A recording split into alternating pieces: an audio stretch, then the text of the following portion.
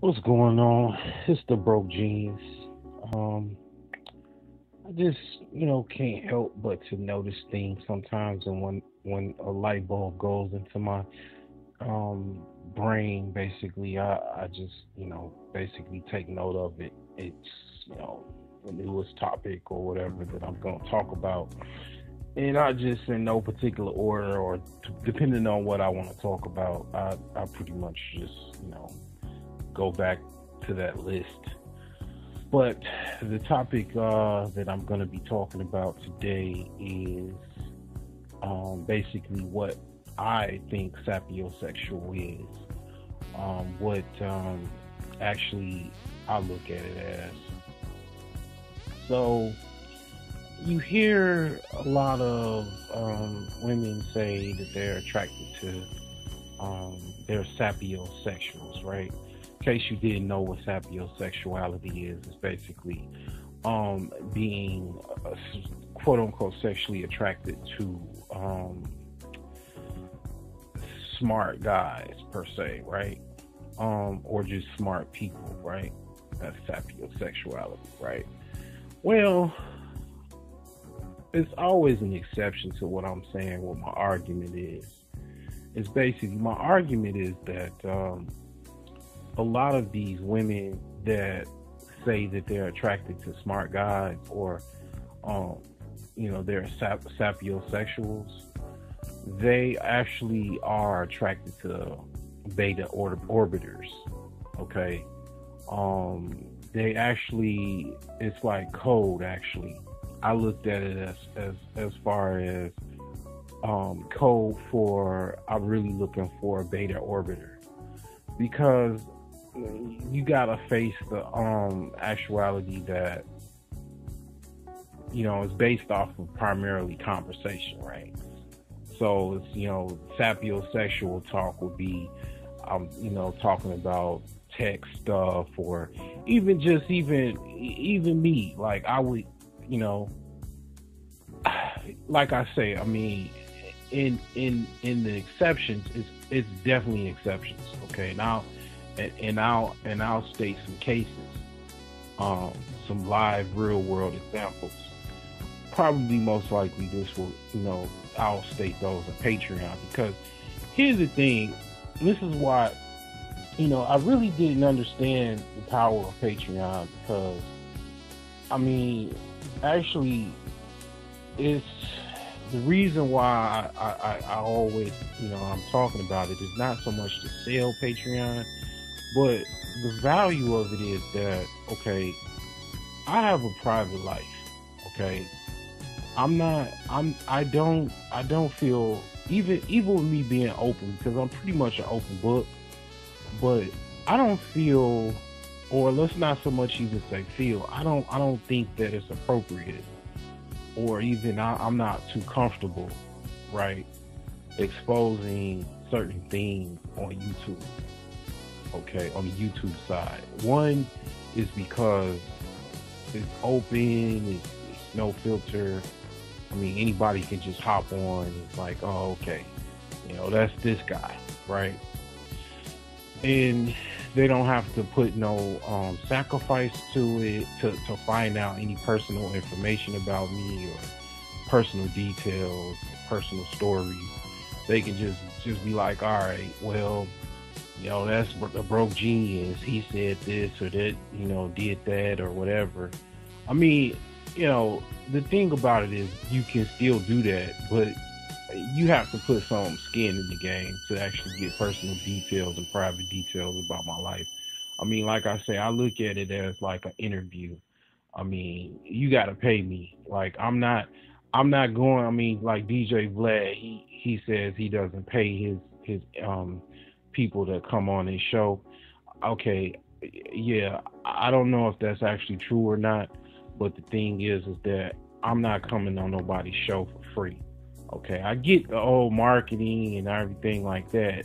Um, you know, in certain parameters, yeah, I would go on, you know, a talk show or anything like that. I actually have a, a talk radio. Well, not so much a talk radio background, but I I know people in the Chicago area that I can literally be on a on a radio station if I wanted to.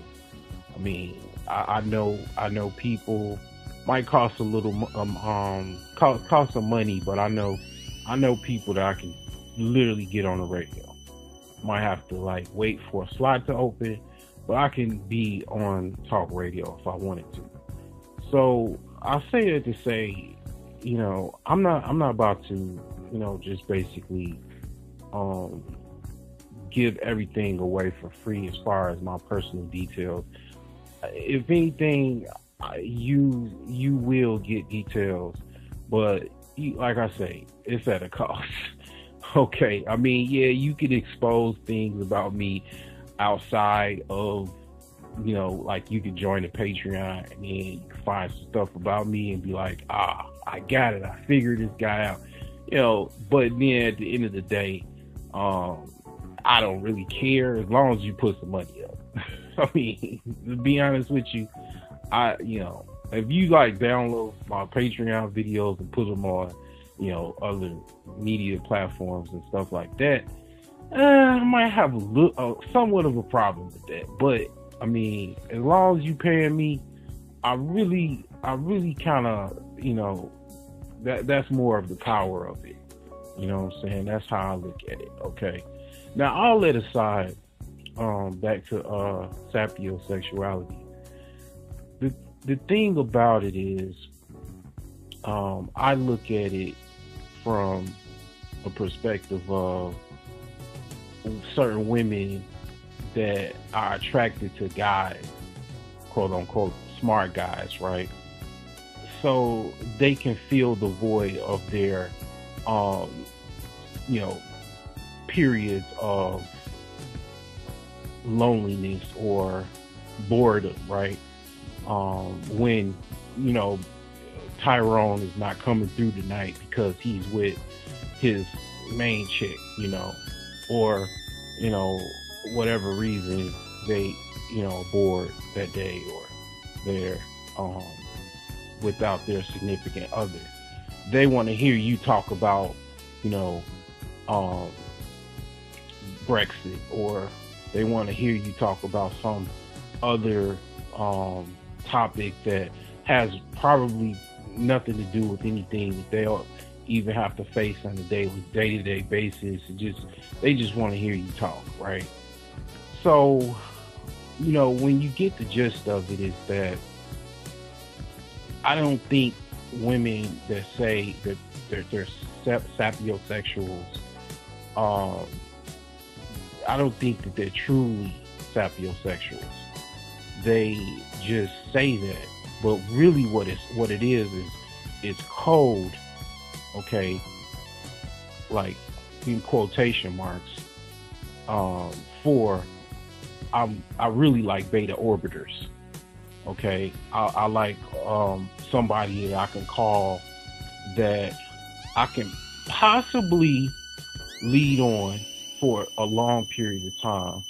When we talk about wasteless topics that are enjoyable for both parties, but um, I can call this person and even get advice on things and stuff like that, and you know have him around, and then just kind of just use him for the advisor slash um, person to fill the void of loneliness and boredom, sort of like in a woman a woman's uh, harem um, in a monogamous pretender's harem, right? Um, so that is what I think that the word sapiosexual um, is actually is. I mean, like I wouldn't be too confident on it, right? Like as far as like I, I don't, I wouldn't brag about, you know, um, you know, women women really like me because I'm so smart and they like talking talking to me. Because the thing about it is, as as I'm you